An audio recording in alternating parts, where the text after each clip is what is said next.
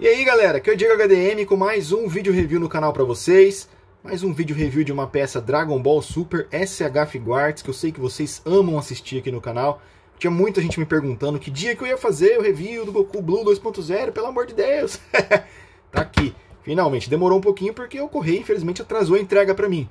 Eu não tenho como controlar isso, né? Então, tá aqui, agora saiu. Bora falar desse Goku novo então. Esse Goku, para quem ainda tá perdido no tempo aí, é do filme do Broly, tá? O Dragon Ball Super Broly que estava nos cinemas até pouco tempo atrás, agora já tem Blu-ray, enfim. Então essa pintura mais escura é referente ao filme do Broly, tá? E faz par com o Vegeta que saiu pouco tempo atrás, que eu também fiz um review aqui no canal, então dá para deixar os três juntos se matando por enquanto na coleção.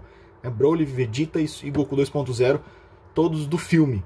Eu, de cara, já gostei muito da caixa dele, nesse né? fundo laranjado com a imagem do protótipo aqui. Tá bonito pra caramba essa caixa do Goku. Atrás, a gente tem algumas poses né, mostradas no protótipo, né, que a gente pode fazer com esse Goku. Tranquilo, né? A gente sabe da capacidade das articulações das SH Figuarts, então aqui não tem mistério nenhum. Vamos abrir e vamos ver como é que ficou esse Goku, que eu já tô com medo de algumas coisas que eu vi de longe aqui. Vamos lá. Bora abrir. Sai, caixinha. Olha só o que tem aqui dentro, gente. Tem um panfleto do Diren SH Figuarts e do Broly de armadura, também SH Figuarts, cara. Olha que lindo ver isso aqui, cara. O panfleto dos dois. Ó, o Broly de armadura tá escrito aqui, setembro de 2019, ou seja, mês que vem, né? Eu tô gravando isso em agosto, então agora falta um mês para sair esse Broly de armadura. Vai ter review no canal, óbvio.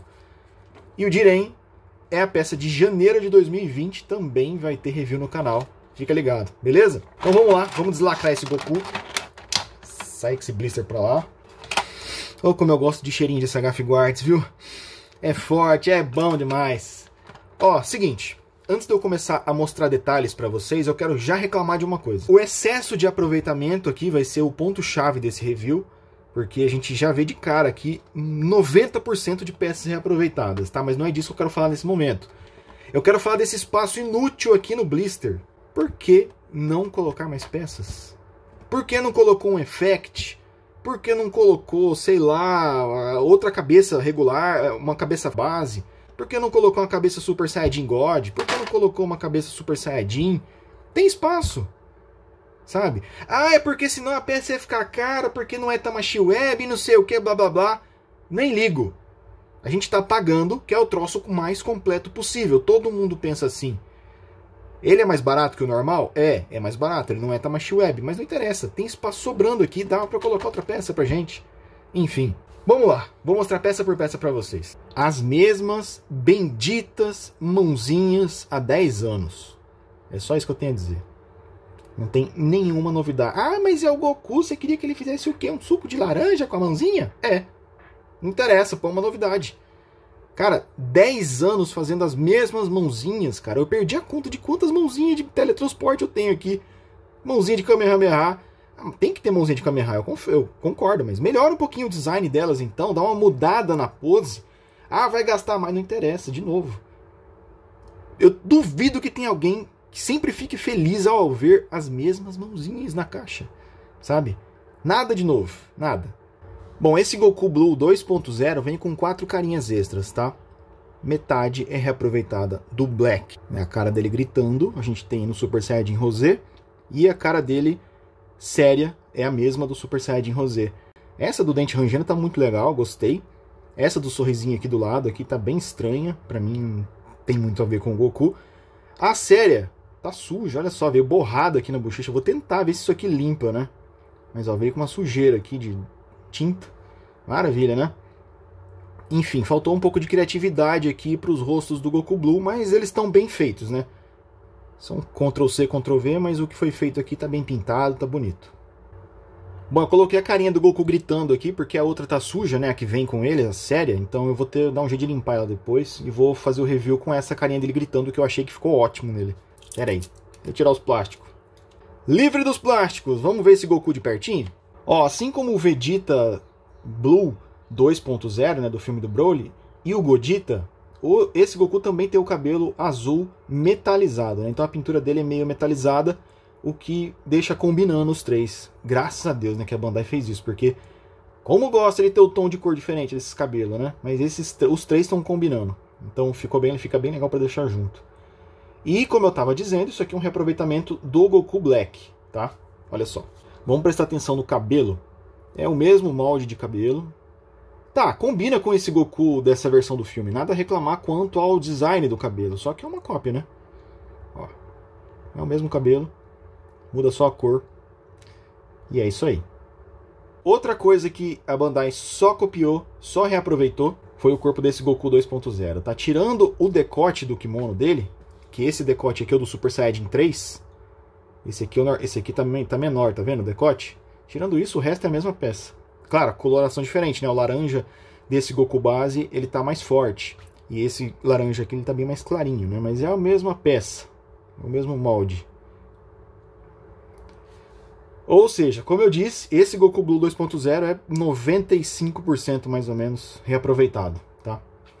Bom, dito isso, né, mostrei todo o reaproveitamento para vocês, agora eu quero mostrar detalhes e articulações. Vamos lá. Não vai ter nenhuma novidade aqui de articulação, né, eu acho. Vamos lá, ó, a cabeça ele mexe para os lados, na base do pescoço, então a gente move sem problema nenhum. O ombro dele vai para todos os lados que você quiser, ele sai um pouquinho também para a gente poder dar amplitude para o soco. A manga é articulada, o bíceps gira também, tá? Articulação dupla no cotovelo do Goku, mãozinha gira para todo lado. Uh, ele tem uma articulação aqui debaixo do tórax, tá?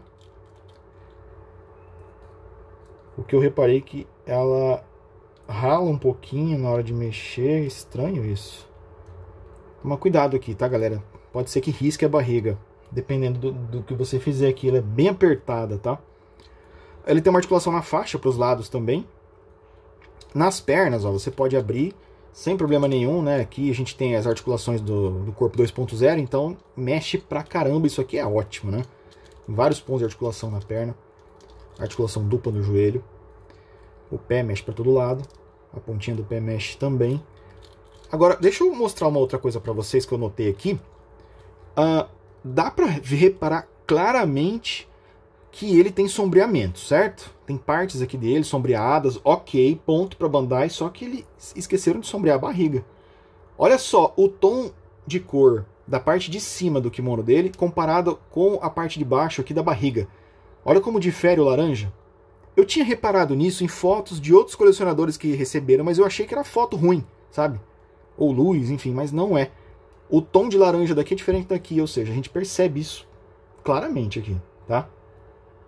Isso é um erro de produção, porque eles fizeram sombra até aqui e esqueceram da barriga, de sombrear a barriga.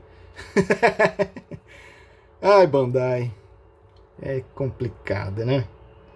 Tirando isso, é uma peça muito bonita do Goku Blue 2.0 e o tom de azul também da roupa da parte de baixo da roupa dele tá ideal, tá certinho como é no filme, tá? Ele é bem mais escuro do que durante os episódios do anime.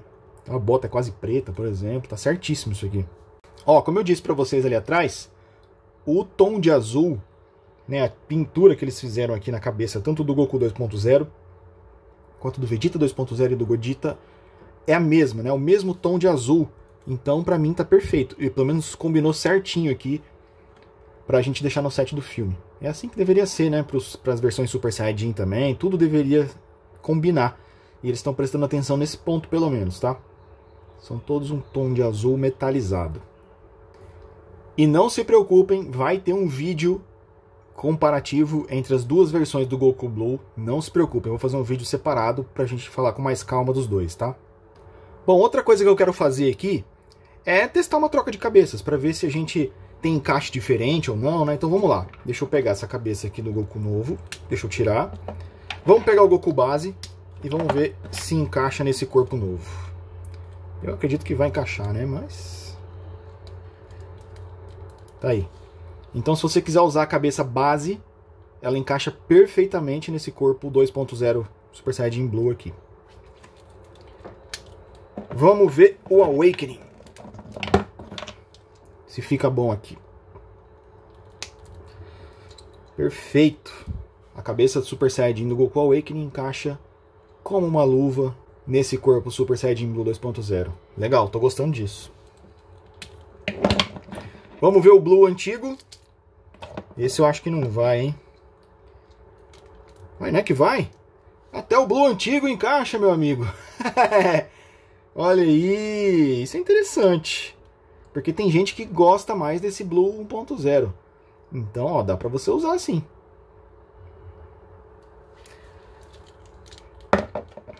Bom, vamos voltar para o lugar aqui. E é o seguinte, vou fazer uma pose, vou deixar algumas peças do lado dele vou pro meu veredito final. Segurei. Prontinho, galera. Ó, coloquei o Goku Blue 2.0 ao lado do Vegeta 2.0, os dois em pose de ataque contra o monstro Broly e o Godita aqui atrás para a gente completar o set do filme Dragon Ball Super Broly para a linha Sega Figuarts. Tá todo mundo aqui. Por enquanto é isso, né? Ainda vai ter o lançamento aí do Broly de armadura e aí fecha cinco peças do filme por enquanto, né? Olha que coisa linda que é montar o set desse filme, cara. Como fica legal as poses de ataque contra o Broly. Legal também, é legal também se você tiver uma base sobrando, e algumas bases sobrando, para fazer pose de ataque aéreo nele, deixar ele se defendendo, deixar ele dando porrada neles. É muito top, cara. É muito legal de mexer nessas articulações. Eu adoro essa linha Sega Guards. Todo mundo tá careca de saber disso, né? Olha só, deixa eu me aproximar aqui do Goku. E é o seguinte, para esse Goku Blue 2.0 a minha nota é 9, tá? Por que, que eu tô dando 9 para ele? Por dois motivos. Primeiro, esse erro na pintura aqui, nesse, no sombreamento da barriga. Né? A gente tem um sombreamento que vem caindo e para na articulação. A barriga não tem sombreamento, então ficou uma descoloração esquisita. Né? A gente pega ele e já percebe isso. Então estou tirando meio ponto disso e estou tirando meio ponto do reaproveitamento exagerado. Eu sempre reclamo disso aqui no canal, cara. Reaproveitamento vai perder ponto. Reaproveitamento desse nível, tá? Sem nenhuma novidade eu detesto. Então eu tô tirando mais meio ponto do reaproveitamento em excesso. Mas ainda assim, nota 9 é uma nota altíssima e eu recomendo para todo mundo que está fazendo a coleção Dragon Ball Super SH Figuarts ou para quem está montando o set do filme, para quem é fã do Goku, tem gente que coleciona todos os Gokus que saem.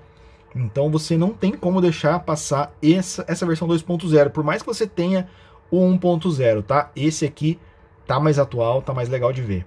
Show? Então é isso. Espero que tenham gostado de assistir mais esse review de SH Figuarts aqui no canal. Goku Blue 2.0 revisado. Se você quiser comprar ele, em breve tá chegando lá na Geek Show e na Tamashi Brasil. Questão de dias, tá? Vai estar tá chegando lá, vocês podem escolher uma das duas e comprar. Fico por aqui então. Gostou? Deixa seu like, comenta, compartilha, diz o que você achou e se inscreve se ainda não é inscrito. Abração, galera. Fui!